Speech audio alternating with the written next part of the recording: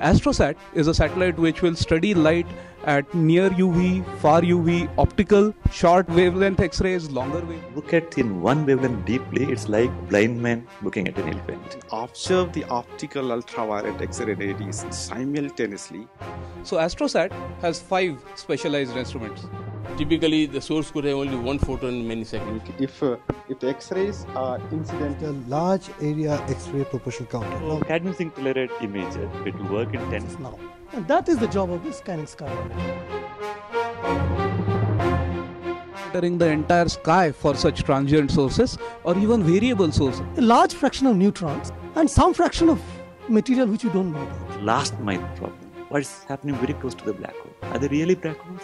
The exotic physical conditions near supermassive black hole.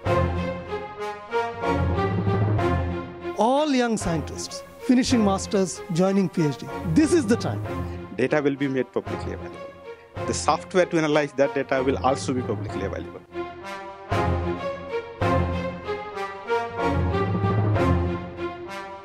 In all of these areas, AstroSat is going to advance the knowledge to well beyond what currently exists.